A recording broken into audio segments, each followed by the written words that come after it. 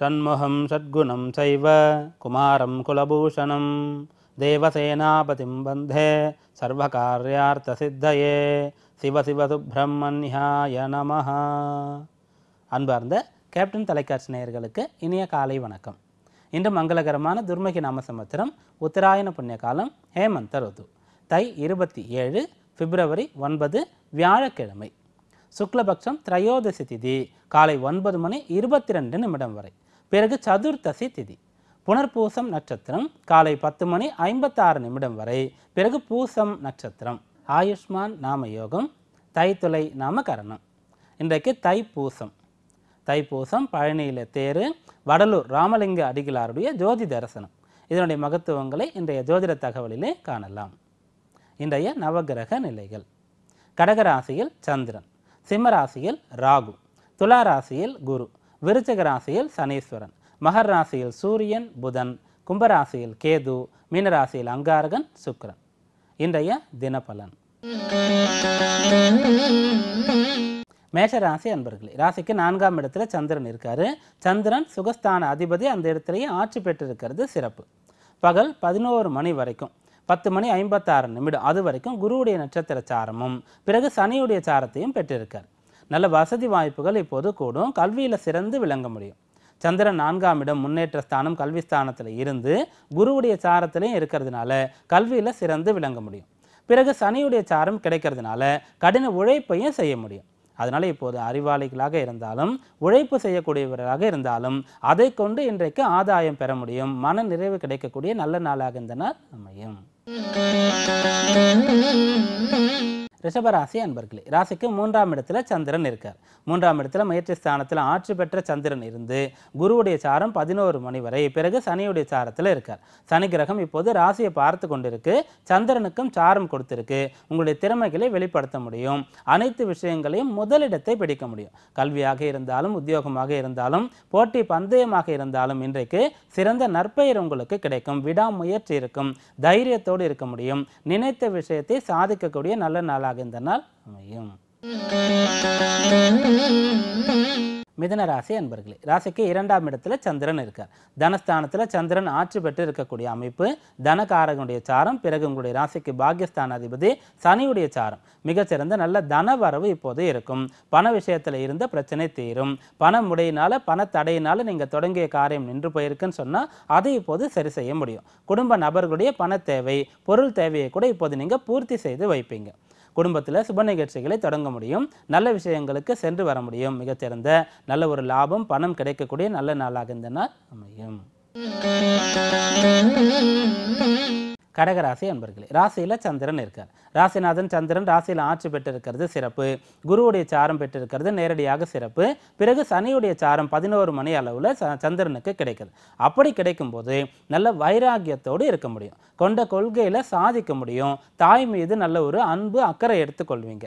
இன்று யாருக்கெல்லாம் உங்களுடைய உதவி தேவையோ உங்களுடைய நேரம் உங்களுடைய செல்வம் உங்களுடைய அறிவு தேவையோ அதை இப்போது கொடுப்பீங்க. பிறருக்கு நல்ல விஷயங்களை செய்து அதனால் நீங்கள் மன நிறைவு பெறக்கூடிய நல்ல நாளாக இந்த நாள் அமையும்.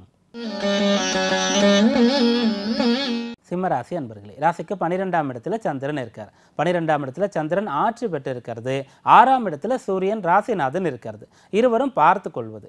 பௌர்ணமின்னு சொல்லக்கூடியது ஒரு மாதத்துல ஒரு நாள் தான் இருக்கும். திதின்னு சொல்லக்கூடிய அளவு வந்து ஏறக்குறைய ஒரு நாள் தான் இருக்கும். ஆனால் இந்த சந்திரனும் சூரியனும் சமசப்தமஸ்தானத்தில் ஏறக்குறைய இரண்டே கால் நாட்கள் இருப்பாங்க. ஏன்னா சந்திரன் ஒரு ராசியில் இரண்டே கால் நாள் வந்து சஞ்சாரம் செய்வார். அதனால இந்த இரண்டே கால் நாளும் கூட பௌர்ணமி யோகம் அப்படின்னு எடுத்துக்கலாம். சூரியனும் சந்திரனும் பார்த்து கொள்ளும் பொழுது நல்ல தெளிவு இருக்கும். நல்ல ஒரு நிறைவான மனது இருக்கும். சூரியனும் சந்திரனும் சேர்ந்து இருக்கும்போது புரியாத பிறருக்கு தெரியாத சித்துக்கள்னு சொல்லக்கூடிய அஷ்டமா சித்திகளை கற்றுக்கொள்ள முடியும். சூரியனும் சந்திரனும் சம சப்தமத்தில் இருக்கும்போது நல்ல தெளிவு இருக்கும். நிறைய விஷயங்களை தெரிந்து கொள்ள முடியும். பிறருக்கு உதவ முடியும். விசாலமான எண்ணம் இருக்கும். விசாலமான புத்தி இருக்கும். அப்படியாக பன்னிரெண்டாம் வீட்டில் சந்திரன் இருக்கிறதுனால இன்று பிரயாணங்கள் செய்யக்கூடியது புது இடங்களுக்கு செல்வது புதிய விஷயங்களை கற்றுக்கொள்வது பிறருக்கு உபகாரம் செய்வது போன்ற நல்ல விஷயங்களை செய்து அதனால் திருப்தி பெறக்கூடிய நாளாக இந்த நாள் அமையும்.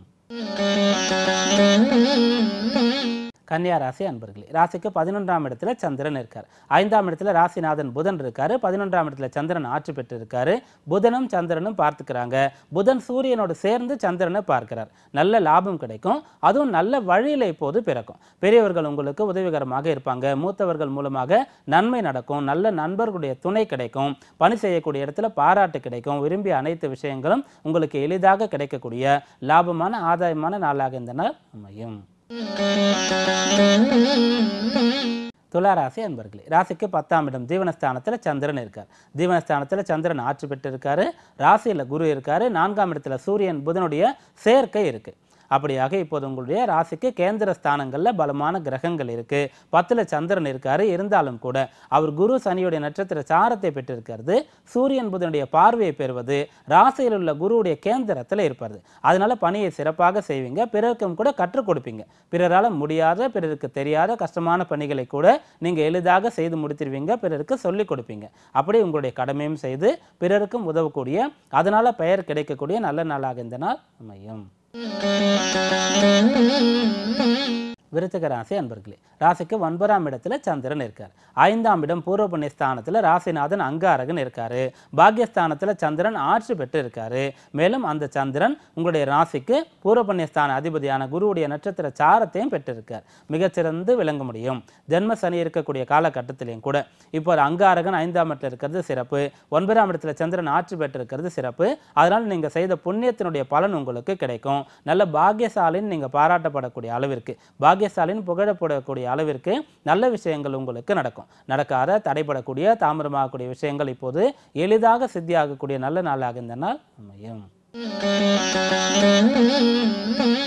தனுர் ராசி அன்பர்களே ராசிக்கு எட்டாம் இடத்துல சந்திரன் இருக்காரு. சந்திராஷ்டம நாளாக இந்த நாள் இருக்கு. சந்திராஷ்டமமாக இருந்தாலும் அந்த எட்டாம் இடத்துல சந்திரன் ஆட்சி பெற்று இருக்கிறதுனால சூரியன் புதனுடைய பார்வை சந்திரனுக்கு கிடைக்கிறதுனால அறிவுபூர்வமாக செயல்படும் போது பெரியவர்கள் காட்டக்கூடிய வழியில் செயல்படும் போது அரசு சார்ந்த விஷயங்களை புரிந்து கொண்டு அதுக்கு தகுந்தவாறு நடந்து கொள்ளும் பொழுது சட்டத்திட்டங்களை மீறாமல் இருக்கும்போது பெரியவர்களை சொல்லை மீறாமல் இருக்கும்போது எந்த விஷயத்தையும் முழுமையான மனதோடு செய்யும் போது சந்திராஷ்டம பிரச்சனையை தவிர்க்க முடியும். மேலும் அஷ்டமஸ்தானத்தில் சந்திரன் ஆட்சி பெற்றிருக்கக்கூடிய அமைப்பு ராசிநாதன் குரு பதினொன்றாம் இட லாபஸ்தானத்தில் இருந்து அவருடைய சாரம் பதினோரு மணி வரைக்கும் கிடைக்கிறது. அந்த நேரத்தில் உங்களுக்கு அதிர்ஷ்டமான விஷயங்கள் நடக்கும். அதனால் இந்த நாள் உங்களுக்கு பயனுள்ள நாளாக அமையும். Mm-hmm. மகர ராசி அன்பர்களே ராசிக்கு ஏழாம் இடத்துல சந்திரன் இருக்கார். ஏழாம் இடத்துல சந்திரன் ஆற்று பெற்று ராசியை பார்க்கிறாரு. ராசியில் புதன் உங்களுடைய ராசிக்கு பாக்யஸ்தான அதிபதி இருந்து புதனும் சந்திரனும் பார்த்துக்கிறாங்க. கல்வியில் சிறந்து விளங்க முடியும். பிடித்த கல்வியை பயில்வதற்குண்டான வாய்ப்பு வசதி இடம் கிடைக்கும்.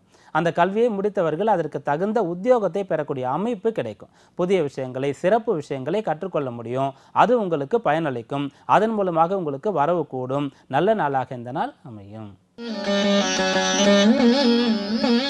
கும்பராசி அன்பர்கள் ராசிக்கு ஆறாம் இடத்துல சந்திரன் இருக்கார். ஆறாம் இடத்துக்கு உண்டான சந்திரன் அந்த இடத்துல ஆட்சி பெற்று இருக்கிறதுனால இன்று பகைவரிடத்தில் உங்களுக்கு கஷ்டம் கொடுக்கக்கூடியவர்களிடத்திலிருந்து நீங்கள் விலகிச் செல்வது நல்லது. ராசிநாதனாக இருக்கக்கூடிய சனி கிரகம் பத்தாம் இடத்துல இருக்கிறதுனால உங்களுடைய வேலை என்னவோ அதில் மட்டுமே நீங்கள் கவனம் செலுத்தணும். கடமையில் கண்ணாக இருக்கணும். தேவையற்ற விஷயங்களை சிந்திக்கிறதோ அதை நினைத்து குழம்புறதோ பயப்படுறதோ குழப்பிக்கொள்வதோ போன்ற விஷயங்களை தவிர்க்கும் போது உங்களுடைய வேலையை மட்டுமே செய்யும் போது அதனால் உங்களுக்கு பலன் கிடைக்கக்கூடிய நாளாக இந்த நாள் அமையும் மீனராசி அன்பர்களே ராசிக்கு ஐந்தாம் இடத்துல சந்திரன் இருக்காரு. ராசிநாதனாக இருக்கக்கூடிய குருவுடைய சாரத்தை பதினோரு மணி வரைக்கும் அதன் பிறகு சனியுடைய சாரமும் சந்திரனுக்கு கிடைக்குது. குருவுடைய சாரம் இருக்கும்போது நேரடியாக தெளிவான சிந்தனை இருக்கும் நல்ல புத்தி சாமர்த்தியம் இருக்கும். சனியுடைய சாரம் கிடைக்கும்போது எந்த விஷயத்தை வந்து முடிக்க முடியாதோ அதை செய்து முடிக்க முடியுன்ற நம்பிக்கை இருக்கும். கடின உழைப்பை செலுத்த முடியும் கஷ்டப்பட்டு படிக்க முடியும் அறிவை பெருக்கிக் கொள்ள முடியும் பிள்ளைகள்னால உங்களுக்கு நல்ல விஷயம் மகிழ்ச்சி கிடைக்கும். சிறந்த நாளாக அறிவுபூர்வமான நாளாக இந்த நாள் அமையும். இன்றைய ஜோதிட தகவல். இன்றைக்கு தைப்பூசம்.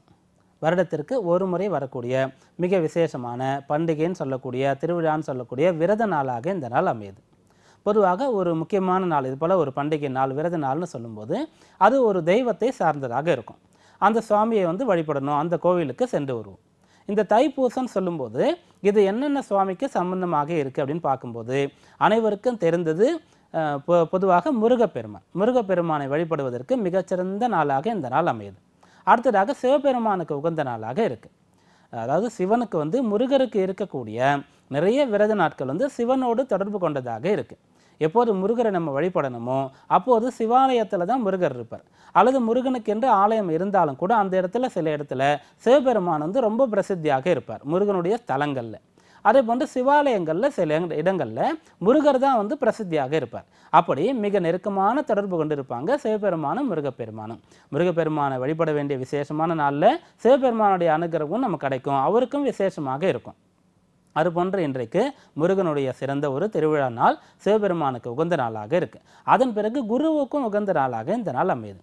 இந்த நாளில் வந்து விரதம் இருக்கும்போது இந்த நாளில் சிவாலயம் சென்று முருகப்பெருமானை சிவபெருமானை வழிபடும்போது குருவுடைய அனுகிரகமும் கிடைக்கிறது அதற்கு அடுத்ததாக இன்றைக்கு ராமலிங்க அடிகளார் ஜோதி சுரூபமாக ஐக்கியமான நாளாக இந்த நாள் அமையுது. அதுவும் கூடுதல் சிறப்பாக இருக்குது வடலூரில் இன்றைக்கு ஜோதி தரிசனம் பார்க்கலாம். அப்படியாக என்னால் வந்து நான்கு விதமான அனுகிரகங்கள் அனுகூலங்கள் நமக்கு கிடைக்கும் விரதம் இருக்கும்போது.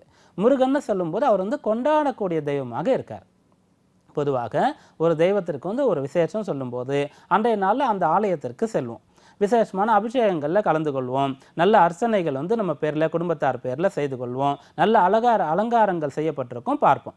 இது விசேஷமாக இருக்கும். ஆனால் முருகருடைய பண்டிகை வரும்போது மட்டும் நம்ம முதல்ல பாத யாத்திரை செல்லக்கூடிய பழக்கம் நமக்கு இருக்குது அந்த பாத யாத்திரை செல்லும் போதும் கூட காவடி எடுத்து செல்லக்கூடிய அமைப்பு இருக்கு. அப்படி சென்ற பிறகும் கூட ஆலயத்திற்கு சென்று முடி காணிக்கை கொடுக்கக்கூடிய அமைப்பு இருக்கு.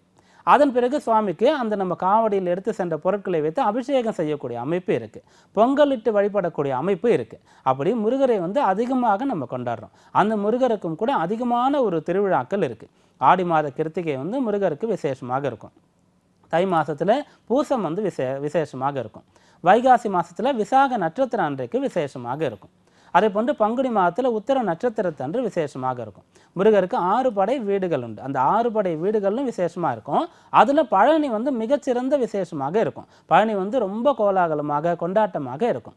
பழனியில் தான் வந்து முருகப்பெருமான் தாய் சக்தி தேவியிடம் இருந்து வேலை பெற்றார். சூரனை சம்ஹாரம் செய்வதற்கு. அதனால் அங்கு விசேஷமாக இருக்கும். பழனி தான் வந்து தமிழகத்தில் மிக அதிகமான பக்தர்கள் வரக்கூடிய ஆலயமாக இருக்குது மிக அதிகமான சுவாமிக்கு வரும்படி வரக்கூடிய ஆலயமாகவும் இருக்குது அப்படியாக இன்றைக்கு தைப்பூச நாளில் விரதம் இருக்கலாம். அவருடைய வேண்டுதலின்படி என்ன விஷயம் வேண்டி கொண்டோமோ அதை செய்து முடிக்கக்கூடிய அமைப்பு இருக்குது சிலர் முன்னதாகவே கூட செய்து விடுவாங்க அப்படியாக பாத யாத்திரை செல்லலாம் காவடி எடுக்கலாம் பிறகு வந்து முடி காணிக்கை கொடுக்கலாம். அப்படி முருகரை வந்து வேண்டி வணங்கலாம். சிவபெருமனுடைய அனுகிரகத்தையும் பெறலாம். ஜோதி ஸ்வரூபமாக இருக்கக்கூடிய வள்ளலாருடைய அனுகிரகத்தை ராமலிங்க அடிகளாருடைய அனுகிரகத்தையும் பெறலாம். முருகப்பெருமான் அனுகிரகம் அனைவருக்கும் கிடைக்கட்டும். மீண்டும் நாளை சந்திப்போம். நன்றி. வணக்கம்.